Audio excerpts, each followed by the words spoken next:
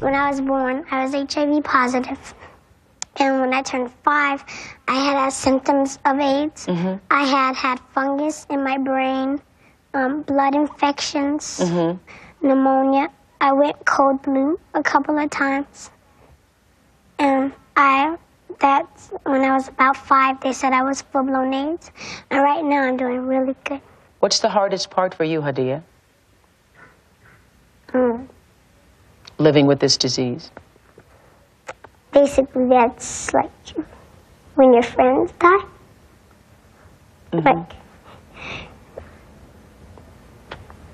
Like? the hardest part is you like and you always lose a friend to AIDS. It's hard, but and especially I don't think it's real hard harder on the parents than on me. And they're friends and stuff, and you love them a lot, and you get real close. And uh, like a lot of my friends that have died of AIDS, no one really knows how long anybody's gonna live because I don't um, put myself like, oh, you have AIDS, or I could go outside and get hit by a bus tomorrow, and you never know. If you stay in your bed and feel sorry for yourself and don't get up with the birds and just sit there and say, well, I'm gonna die, why get up and try and make a difference? Mm-hmm. But when you say, well, today's another day, I can get up, I can do something, make something positive. People still recognize me as a little girl from TV with AIDS. It's it happens at the at the weirdest times. I could be in the airport and someone will say, "Are you that little girl?" and they'll whisper, "With AIDS?" And I just laugh and I say yes.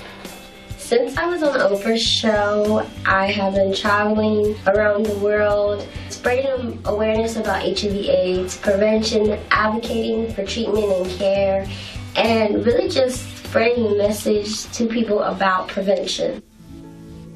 I was at the height of my career, and I'm like 15, and those are my teen years.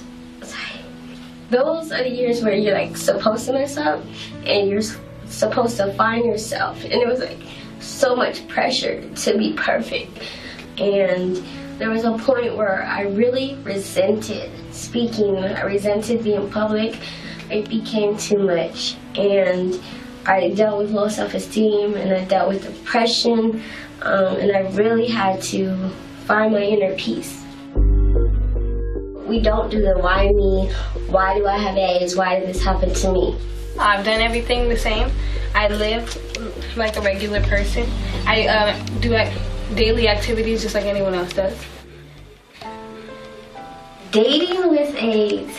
Well, there's a guy who I thought I was madly in love with, and he couldn't deal with my status. And I became a secret, like, oh, we can hang out, but at my house. Or we go to the movies, but across town. And so that really played with my psyche. It took me a long time to identify that the problem wasn't me, it was him. I was supposed to live past the age of five. I will be 30 in June. In five years, I plan to have my own community center, my own nonprofit organization, maybe married, no kids yet. Because I got so much to accomplish. I don't have time for kids.